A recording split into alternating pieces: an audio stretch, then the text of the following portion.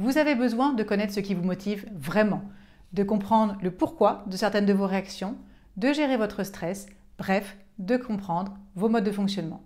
Ou vous avez peut-être également besoin de recruter la perle rare, de développer le leadership de vos équipes pour plus de performances individuelles et collectives, ou enfin de favoriser la motivation de vos collaborateurs. Dans cette vidéo, je vais vous parler de Profil Inc. Profil Inc, c'est l'outil qu'il vous faut pour identifier et pour booster vos soft skills ou celles de vos collaborateurs. Je suis Karine d'Adaptis Coaching. Je vais vous expliquer ce que c'est que Profil Inc., à qui ça s'adresse et comment ça fonctionne. Profil Inc., c'est quoi? À la lumière de l'approche neurocognitive et comportementale, Profil Inc. est le fruit de 30 années de recherche interdisciplinaire et d'expertise terrain.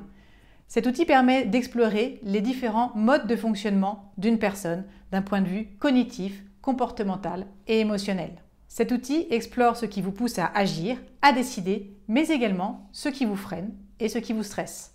Alors bien souvent, les questionnaires de personnalité évaluent les soft skills, les savoir-être, en mesurant les attitudes et les comportements observables. Et eh bien à l'inverse, Profil Inc. va chercher les fondements de ces comportements et de ces attitudes observables. Alors Profil Inc. pour qui? Eh bien pour toutes les personnes qui ont besoin de faire un point sur leur dynamique de fonctionnement, sur ce qui les met en mouvement et à l'inverse, ce qui les freine ou ce qui les stresse.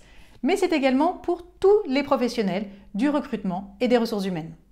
Au travers de sa grille de lecture, Profil Inc. permet d'explorer trois dynamiques comportementales.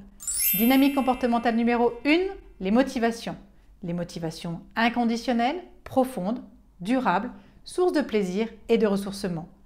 Mais également les motivations conditionnelles, qui sont sensibles aux résultats, à la reconnaissance et du coup qui peuvent entraîner une démotivation, une fatigue en l'absence de ce résultat ou de cette reconnaissance. Dynamique comportementale numéro 2, la confiance en soi et la confiance dans les autres. Dynamique comportementale numéro 3, notre adaptabilité, autrement dit, notre capacité à mobiliser nos meilleures ressources pour rester serein lorsque nous sommes confrontés à une situation complexe, nouvelle ou imprévue. Alors si vous souhaitez en savoir plus sur Profil Inc., je vous invite à prendre rendez-vous dès maintenant pour une session découverte de façon à en parler ensemble. Et n'hésitez pas également à liker, commenter ou partager cette vidéo si elle vous a plu.